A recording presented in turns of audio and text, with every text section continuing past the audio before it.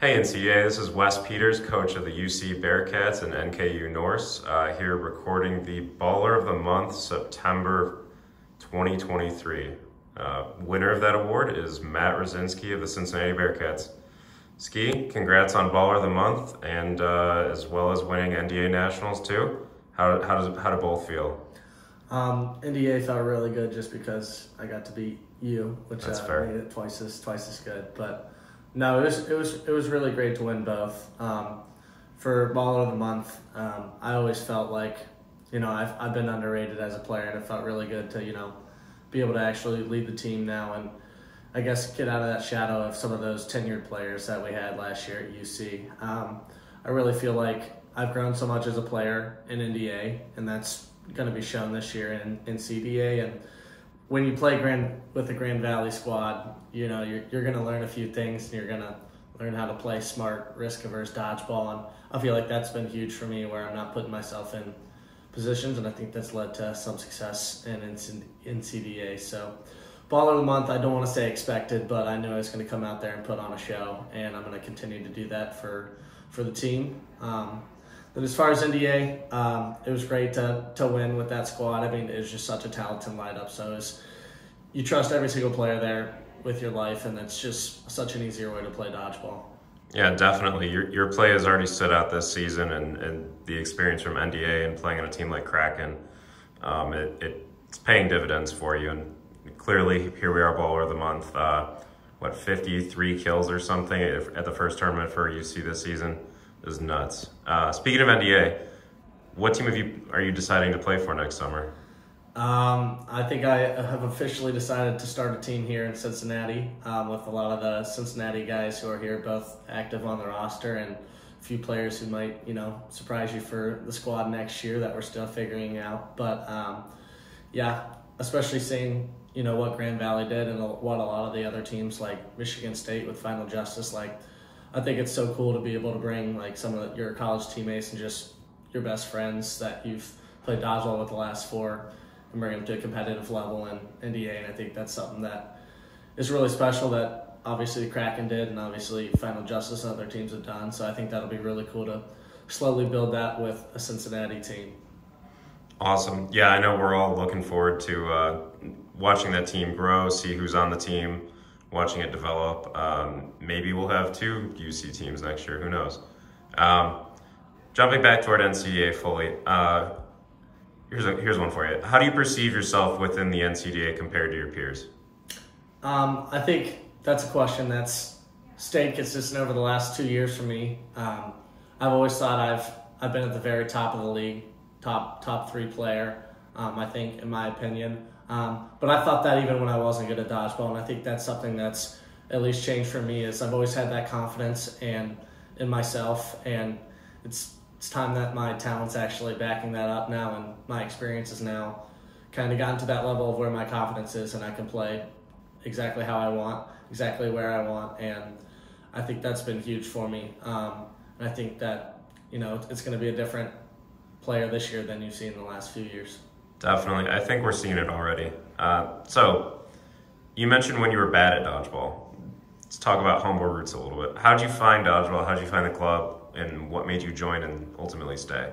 Um, I, I never really, I guess, found dodgeball. Dodgeball kind of found me. I, I was a huge pickup basketball player my first two years of college, and then sophomore year in the in the spring, um, my my pickup basketball court got kicked off because someone had club dodgeball practice. And Sorry about I, that. I, I thought it was the stupidest thing ever, and I I always, like I said, have had the utmost confidence in myself. So I said, you know, F it, I'll, I'll go and, and play dodgeball. I'm gonna beat all these kids. They're probably no life, not good at anything, and um, I got humbled very quickly Mm-hmm. when I got team thrown at by Brett and Corey, and after that, I just a very competitive guy. So anything I'm not good at, I just want to keep doing until I'm good. So that's kind of how I got started, and I guess I fell in love with the sport. Um, obviously, got super super close with a lot of the guys. I mean, I was just best Yeah. man at one of the weddings, which is such a cool thing to even think about. That dodgeball is doing that for you and your friends.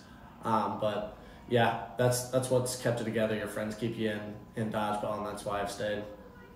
Awesome. Yeah, I, I remember when you joined the club. It was uh, I, I don't think I was there at that practice actually, and it was just new to it was you and Barrett that joined, and I, I knew pretty quickly. Oh, we might have something here. So it, it, was good to have you join the team, obviously, and where you've gotten to this far. Um, so let's talk a little bit about the team holistically. UC seven and two this season with two close losses to OSU. How do you feel UC has performed as a team thus far this season?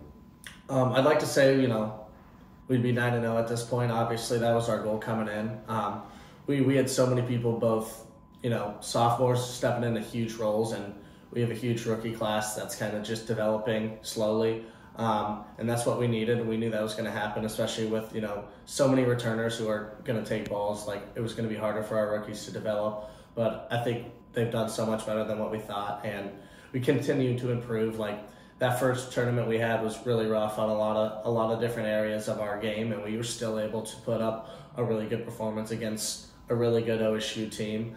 And uh, we have the utmost confidence in the second game against OSU. We felt like we were winning most of the points. It just they they've got such good experience. They're not going to make too many mistakes, and and we definitely made a few mistakes on a lot of those points that kind of changed it back the other direction. But overall, um, we just got to get better at being consistent. You know, doesn't matter what team we play. We know we're going to have three good points where we dominate. We're going to come out there and play exactly how we want to play. Uh, we're going to make big time catches, but just those off points, like having we can't have points against OU or BGSU where we kind of just slow down and stuff like that, which has been something we've had so far this season. But like I said, it comes with experience, and you know I think getting a really experienced arm back this next spring is definitely going to change the, the way this team plays dodgeball. Definitely. Speaking of, uh, with that person coming back allegedly. Uh, how do you see the rest of the season going? What are what are the expectations for the club for ultimately? Um, we, we truly believe that this league is wide open. We feel like a lot of teams lost a lot of veterans, which is us included. We probably lost with MSU probably the biggest graduating class um, as far as talent.